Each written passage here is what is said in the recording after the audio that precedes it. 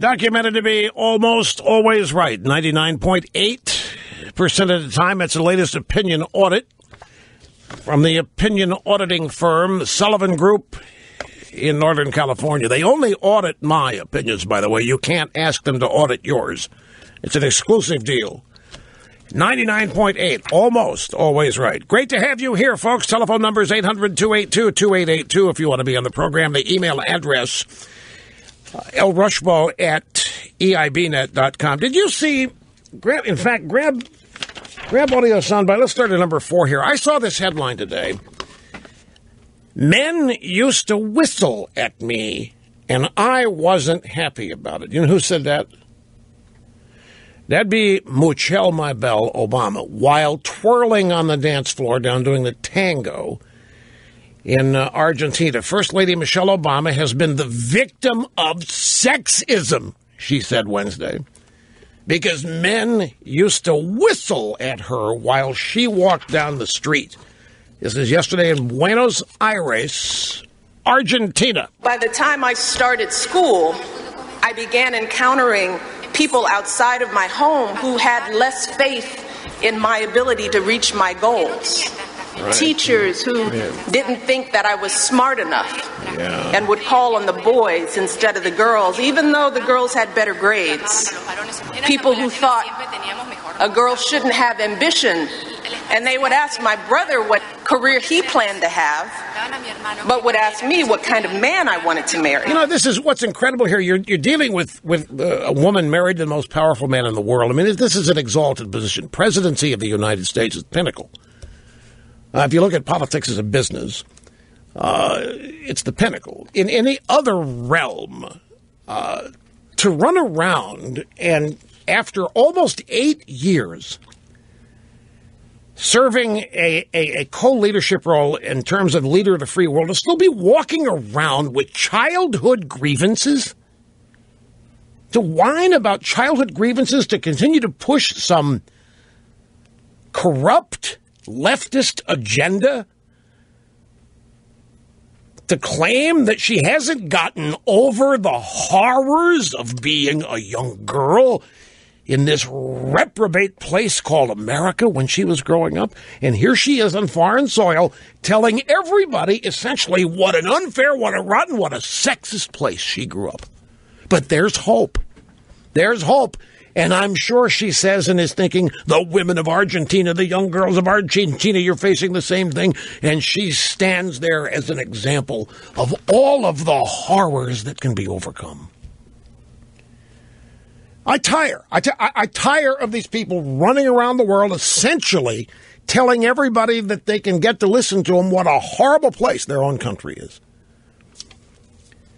And if you listen to Michelle Obama, you would think that all of this discrimination and all of these harsh, she's sitting as first lady of the United States and she can't get past it. She can't get over it. She wants, I'm telling these people are bitter. They have not gotten over it. All of this is personal and they haven't gotten rid of their anger. They haven't gotten rid of whatever resentment chips on their shoulder they harbor. Here's the bit about sexism. Being, do you know how many women would love being whistled at walking down the street? Am I going to get fined for that? Am I out of touch observing that? Seriously, Mr. Snerdley, you know, sadly, I might be on the edge acknowledging that, yeah, the wolf whistle you know, okay, so you've got your average American construction site, and you have your average American construction worker. And every woman in the world knows if you go walking by there, you're going to whistle at. And yet they walked by.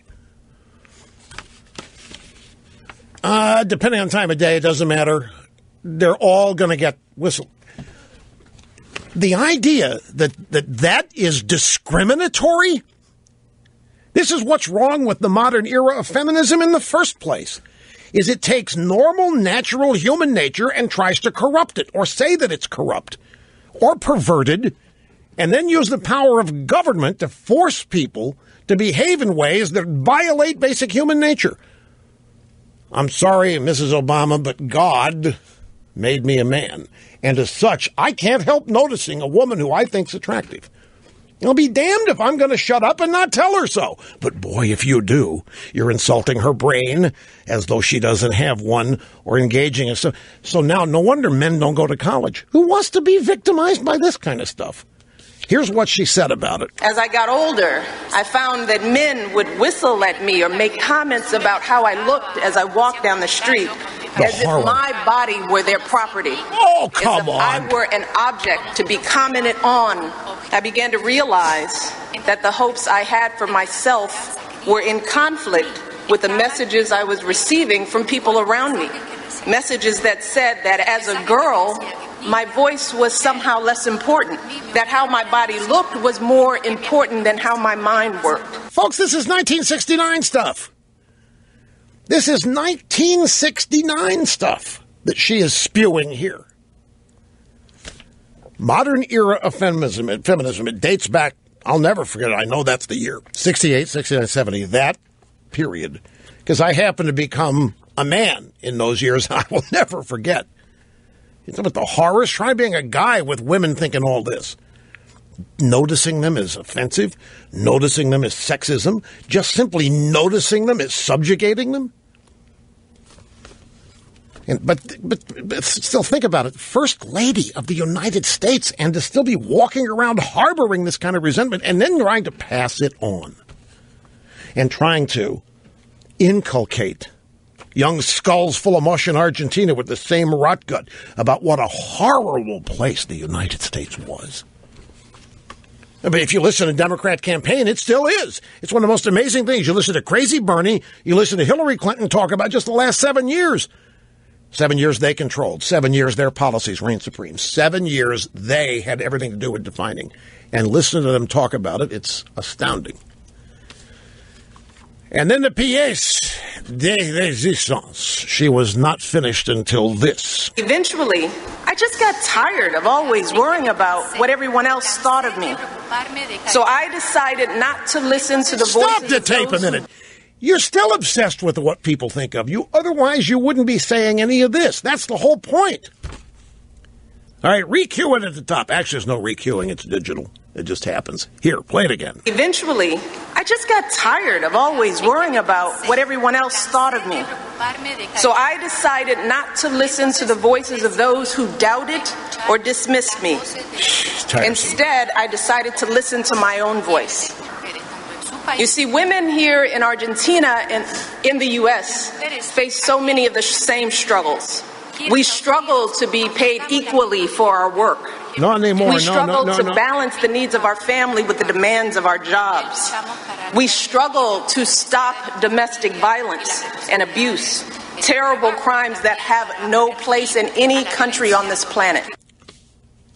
In this woman, I notice speech patterns because I'm a, I'm a highly trained broadcast specialist. I know this stuff. And I have, from the first speech this woman gave as president, she was talking about the struggle. We could go back to the soundbite archive. The first speech she made was talking about the struggle. Capital T, capital S. The struggle. And it hasn't stopped nearly eight years in, and the struggle continues because that's the key. The struggle never ends. The oppression never ends. There's never victory. You never overcome anything. There are always going to be villains. There are always going to be people out to stop you. You can never, ever be happy. You can never, ever achieve anything. You have to keep people on edge. You have to keep people thinking that the world is stacked against them. You can't inspire people. You can't motivate people. You got to tell them how the rest of the world in your own country, in fact, is nothing but a bunch of reprobates. What a message to take internationally. One of condemnation in your own country, one of dispiriting negativity. It's just, it has always amazed me. It's not just her, by the way, it's the entire American left. It's why they're never happy. You never run into one that's happy. You never, in, in fact, if you're happy around one, you are provoking them. But I just, I, I just find the, the whole. What's the mindset? Let's go to Argentina and tell everybody how rotten we have. You're president and first lady. Millions of Americans ostensibly agree with you, supported you, love you. They elected you. The majority of your fellow citizens, you run around the world running them down. I don't understand the mind. Well, I do. No, I totally understand the mindset. And it's something so foreign to me that it takes great effort to understand it. And I know I will never be able to relate to it.